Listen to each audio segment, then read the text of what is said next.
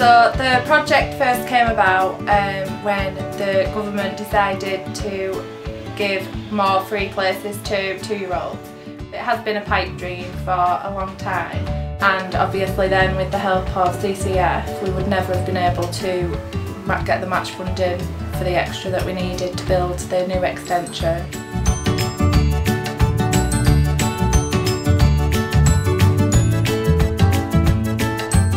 The new classrooms are going to be amazing, the children are going to benefit so much from having three classrooms. We're already full from September so it just goes to show how needed that it was.